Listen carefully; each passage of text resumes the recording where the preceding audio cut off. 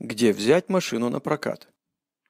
Пункты проката автомобилей обычно располагаются в аэропортах, на железнодорожных и автовокзалах, в центральных районах города, где высока концентрация туристов, в крупных отелях, представительствах автодилеров, в спальных районах вблизи крупных автотрасс.